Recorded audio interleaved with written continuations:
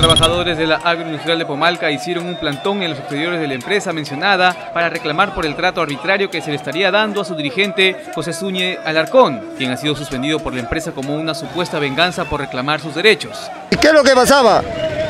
Me encontré con la sorpresa que me encontré con una seguridad en la puerta impidiendo mi ingreso a las instalaciones. ¿Por qué? ¿Por qué? ¿Por qué?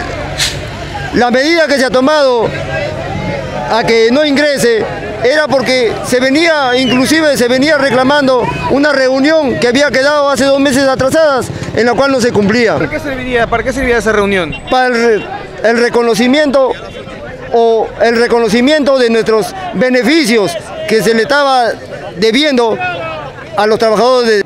Parte de los reclamos sería el pago de CTS y utilidades atrasados.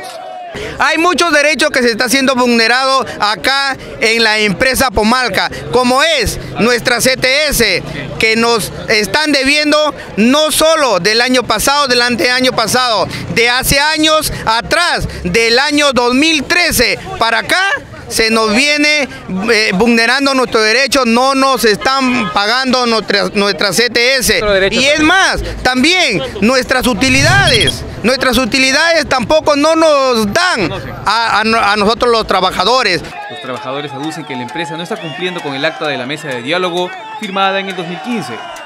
En un acta, en el 2015, se hizo en la mesa de diálogo donde estuvieron representantes del Estado y representantes de la empresa y representantes del sindicato, donde la cual dejaron bien en claro que iban a cumplir esa acta elaborada en el 2015. Pero al caso lo están cumpliendo algún punto, señores, no lo están cumpliendo el, el acta que se acordó. Es una burla para los representantes del Estado, es una burla para el sindicato. Imagínense cómo va a ser posible que no se cumpla ese acta.